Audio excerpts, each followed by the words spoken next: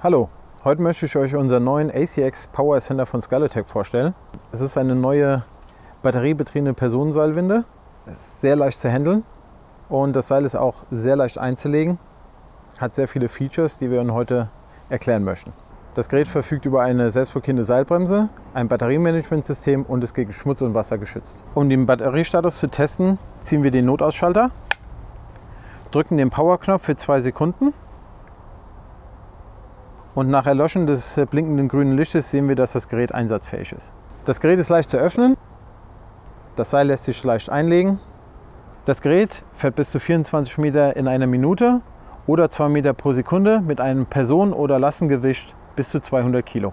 Der Akku reicht für eine Strecke von bis zu 200 Meter bei einem Nutzergewicht von 100 Kilo. Bei einem geringeren Nutzergewicht sind natürlich mehr Meter möglich. Der Akku ist äh, kinderleicht auszutauschen, wie man hier sehen kann. Das Skyletech ACX kann auch per Fernbedienung von einer zweiten Person vom Boden aus gesteuert werden, um eine eventuelle Rettung möglich zu machen. Die maximale Reichweite hierzu beträgt 150 Meter.